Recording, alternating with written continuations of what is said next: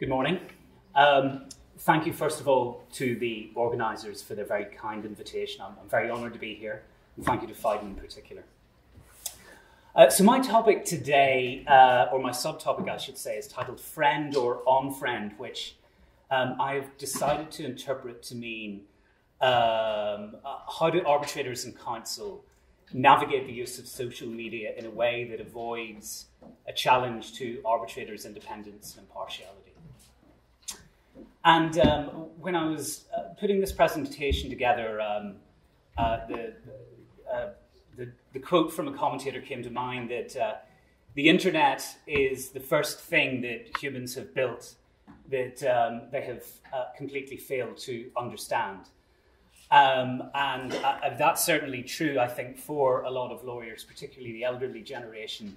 I'm not sure for all the, the millennials in the room here. Um, but it is, uh, you know, that quote highlights the ongoing challenge um, of ensuring that uh, arbitral rules and arbitral guidelines somehow manage to keep up with the pace of the ever changing virtual landscape.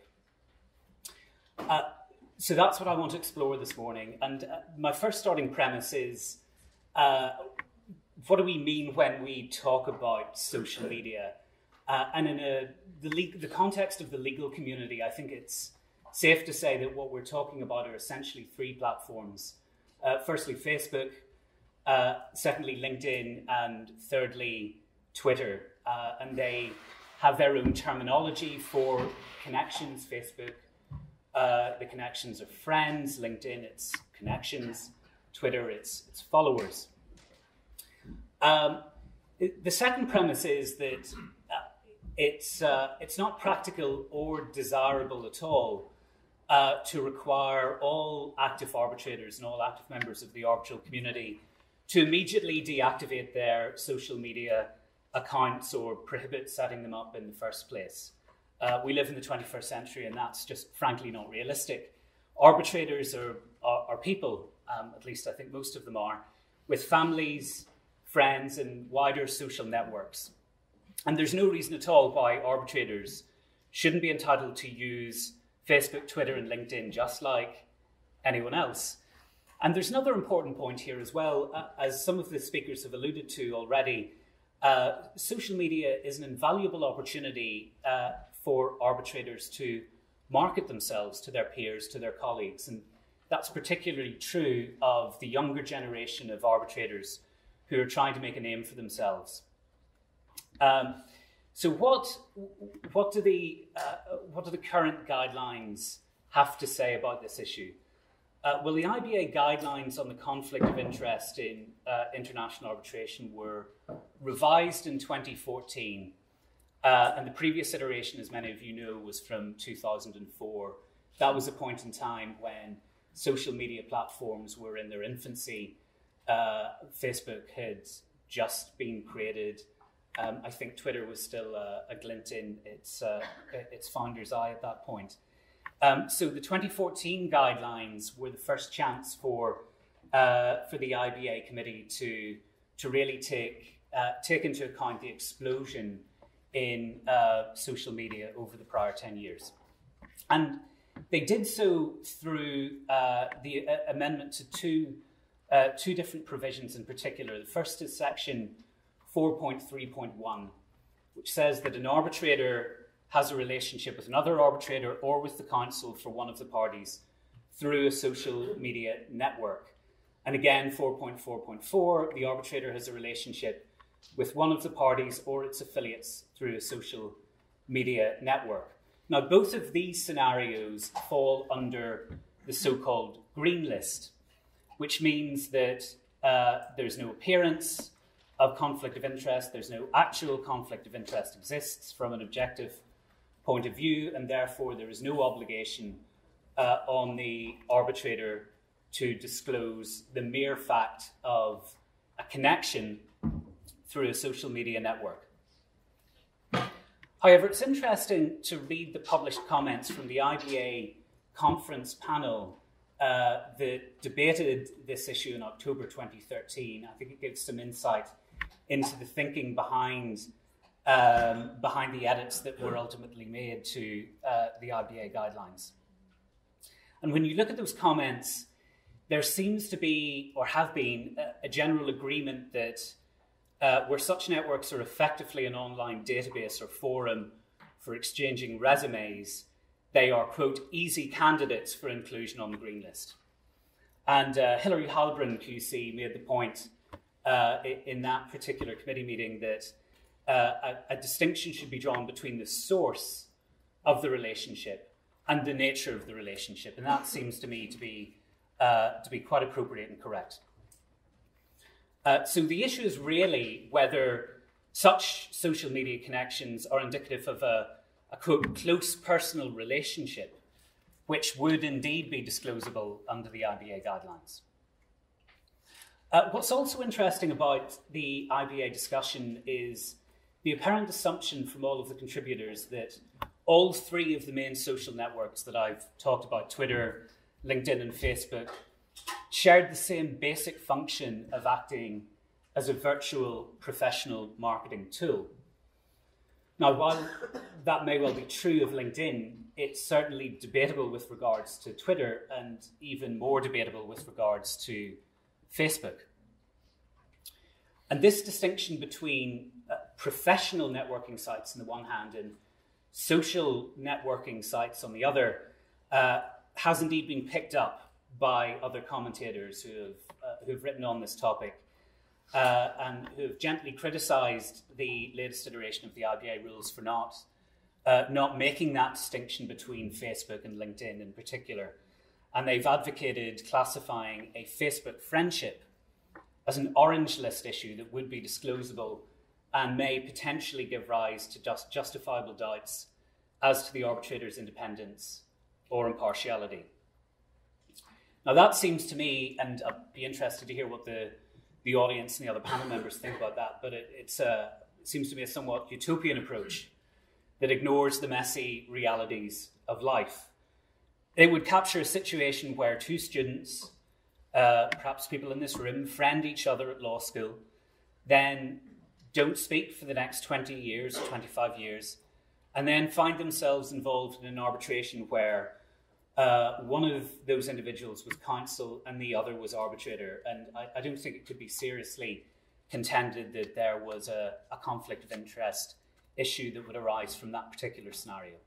It would also capture a scenario where uh, two existing practitioners friend each other uh, purely for professional networking purposes, just as they would do on LinkedIn. And again, I, I don't think that there would be any dispute that in, in that scenario, uh, there is a, a, conflict of interest that would give rise to a challenge or certainly a successful challenge. Uh, indeed, those who have proposed making Facebook friendships an orange list issue have also acknowledged that what really should be determinative of any um, of any independence or impartiality challenge is the nature of the relationship and not the source. And so the, the, the issue is uh, how can that be, be properly measured? Um, and one suggestion has been that uh, the closeness of a Facebook relationship can be quantitatively measured through social media mining. Um, in other words, uh, having these specialist companies uh, mine the data that is available from Facebook uh, to determine uh, the quantity of interactions between two Facebook friends uh, and indeed the quality of those reactions. Uh, now, that seems to me a highly questionable proposal, quite aside from the, the multiple legal hurdles with regards to privacy laws um, that would need to be overcome um, it, it's also doubtful that prospective arbitrators would tolerate that level of intrusion into their private digital lives. And it also begs the question it, are, are, is this proposing a solution uh, to a problem that doesn't, in fact, exist? Um, indeed, there are only a handful of cases currently that deal with this issue of arbitrators and their online identity, and I want to just explore a few of them briefly. Uh, the first is a 2014 decision of the French Lyon Court of Appeal. And briefly, the facts of that case. In 2009, an award was rendered in Paris by a tribunal of three arbitrators. Uh, the losing party sought to annul the award on the basis that the opposing counsel was a Facebook friend of the presiding arbitrator and that she had supported his candidacy for election to the Paris bar by liking his Facebook status. Uh, now, ultimately, the award was upheld on the basis that the like was rendered after the award was issued. Um, now, the, the relevance of the simple Facebook friendship itself wasn't, in fact, considered in the judgment. Uh, that's presumably because the court concluded that this was not significant in itself without the existing existence of other compelling circumstances. Um, the, the next case cropped up in Denmark, and this was a Supreme Court decision, uh, the Danish Supreme Court. Um, and it was a criminal matter where the defendant had been uh, convicted of pushing uh, his victim at a public demonstration. And the defendant appealed um, after the conviction, having discovered that one of the lay judges on the district court was uh, registered as a Facebook friend of the victim. Um, and the defendant argued that consequently, as a result of this friend, uh, Facebook friendship, the lay judge was unable to make a completely impartial judgment. Uh, now, to, to, compound the issue, the judge had on two prior occasions written positive comments on the, face, uh, the victim's Facebook page and had once issued a supportive statement toward the victim in a campaign critical uh, of the victim's political views. Uh, now, when the, the Supreme Court looked into this and investigated it in more detail, um, it was dispositive as far as they were concerned that the judge and victim didn't know each other personally. They'd never met and they had never spoken to each other. So their uh, relationship existed purely on, on, the virtual level through um, this friendship, uh, Facebook connection. And the Supreme Court therefore held that there was absolutely no doubt as to the impartiality and independence of the lay judge and upheld the conviction. Uh, now, finally, um, the German court in 2016 uh, issued a judgment. Um, uh, again, this was in a, a criminal matter, um, and this was concerning whether a, uh, a, judge's online profile and statement on Facebook cast doubt on his independence and impartiality with regards to the conviction of two suspects. So this is, it's obviously slightly different from the two cases we've just looked at. This isn't about a Facebook friendship connection per se. It's rather about um, how a judge has presented himself uh, on his Facebook profile. And uh, uh, in this particular instance, um, uh, the judge who had uh, con- uh, convicted the um, had convicted um, the, this this chap had been depicted on his Facebook profile page wearing a t shirt with the statement, We will provide you with a home, prison. Um, and um, uh, to make matters worse, on his profile page, uh, the judge had then commented um, under this picture, this is, uh, this is my quote, when you get out, I'll be in retirement look.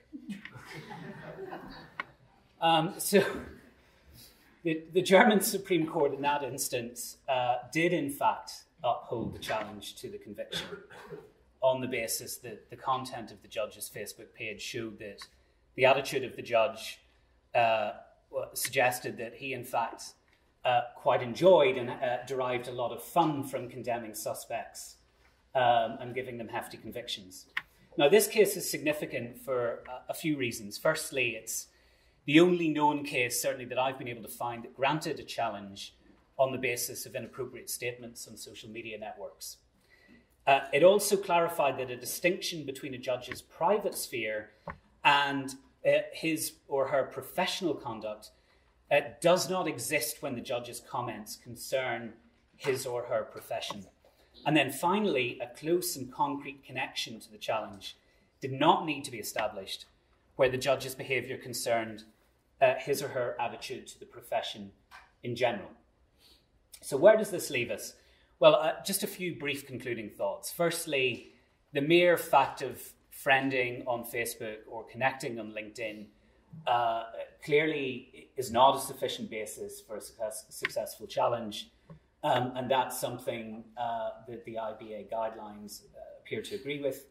Um, that said, friending a counsel, uh, an arbitrator friending a counsel or vice versa during the pendency of uh, an arbitral proceeding is probably inadvisable, and uh, the safest course is to refrain from any social media activity between uh, an arbitrator and a counsel during the duration of the proceedings. And that might be a point that we might want to pick up on and explore further during the debate.